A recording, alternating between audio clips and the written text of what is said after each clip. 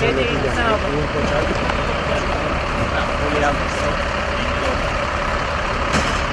Hangi hastaneye gidiyoruz?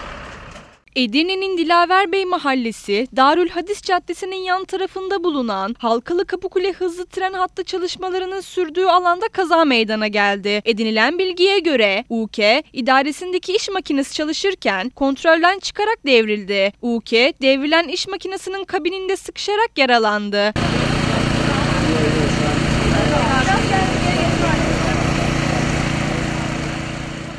Çevredeki vatandaşların ihbarı üzerine olay yerine sağlık, itfaiye ve polis ekipleri sevk edildi. Bölgeye gelen itfaiye ekipleri operatörü sıkıştığı yerden kurtardı. Yaralı, sağlık ekiplerinin ilk müdahalesinin ardından Trakya Üniversitesi Tıp Fakültesi Hastanesi'ne kaldırıldı. Polis ekipleri kazayla ilgili inceleme başlattı.